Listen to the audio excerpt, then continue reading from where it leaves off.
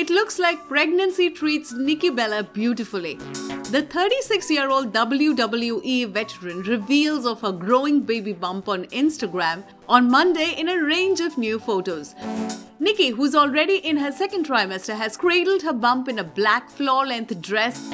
When the latest pictures were taken, she seemed to be standing in her living room.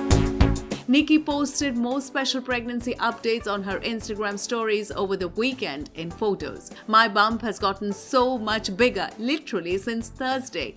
Look how cute, she said in a clip showing her belly in a black top.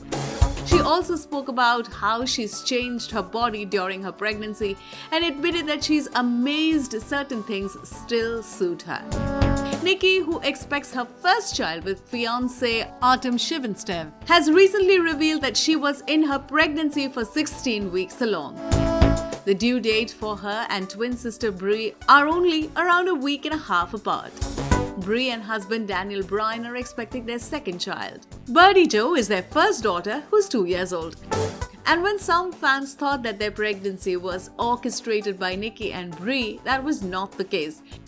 Previously, Nikki shut down rumors that they had been subject to in vitro fertilization on an intention to time their pregnancies together. We ain't the scheming twins, you got the wrong girls here.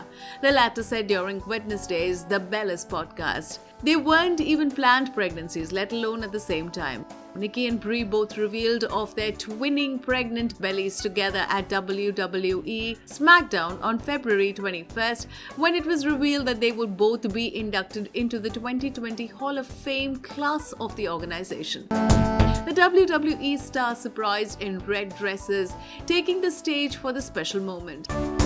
The twins will be invited back formally into the Hall of Fame on Thursday, 2nd April.